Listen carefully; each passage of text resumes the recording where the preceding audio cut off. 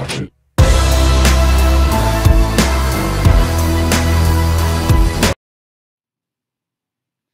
Tom Hardy went from a DC movie to a Marvel movie. He turned down a DC movie and accepted a Marvel movie.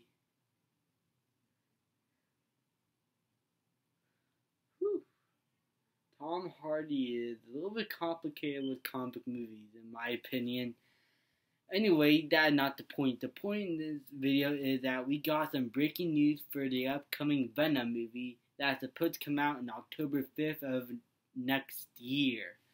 And to be honest, I am a bit skeptical with this. I do enjoy all the Spider-Man movies, so I'm in the middle of the whole Venom idea because it's been in development hell for a long time. It was supposed to come out somewhere this year, but because of the failure the Amazing Spider-Man 2 faced, we didn't. So, Sony, since they made a deal with Spider-Man, it seemed to, to be going well.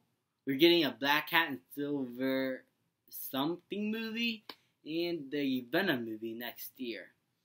And they announced that they finished the script and that they're going to be shooting really soon.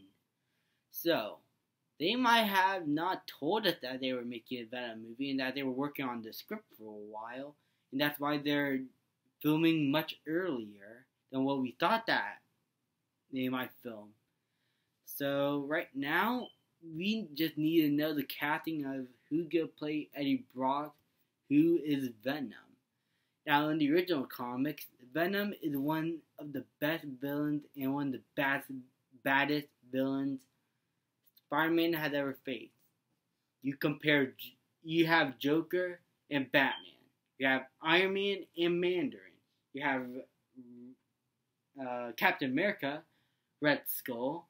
You have Ant Man, Yellow Jacket. Well, kind of in the movie, kind of. Yeah. Um, you have Superman and Lex Luthor. You have Hulk and Abomination. And when you go to Spider Man, you get Spider Man and Venom. Like, those are the two people who you see. And I just love Venom as a character. Not only does he look cool and is one of the badass, one of the best villains of all time, in my opinion, he is one of the best had one of the best character backstories ever.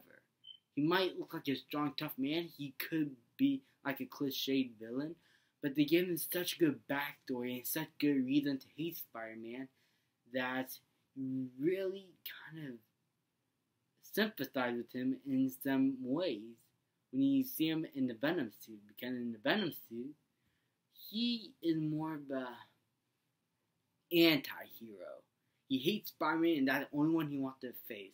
He's a he's like a dangerous protector, and he doesn't hurt anybody else. He just is after Spider-Man and Spider-Man only. That is his goal. So I do not know anything about the Venom movie. I do not know the synopsis.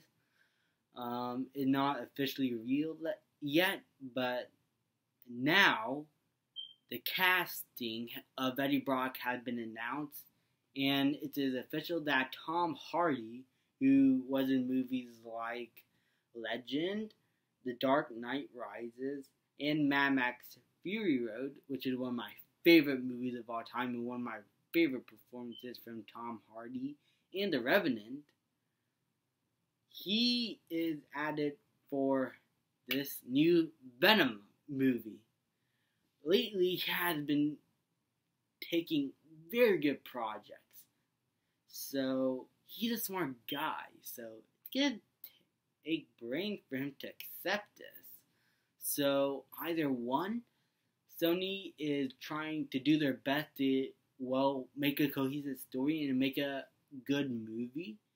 And Tom Hardy accepts the fact that they're actually doing a good job, or just the money because some actors just do it for the money.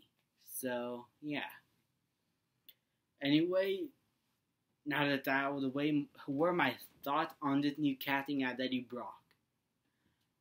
I don't think there's a much perfect actor to portray him. Um, he's so bulky, he's huge, he could embody Venom. Because Venom is such a huge villain. You see the portrayal that that kid from that 70s show, and it just, what the fuck? Oh, he is not a good Venom. That is not what Venom is supposed to be portrayed as. He's not a good villain in Spider-Man 3. As much as I like that movie, I do not like Venom. That is a huge betrayal of the character.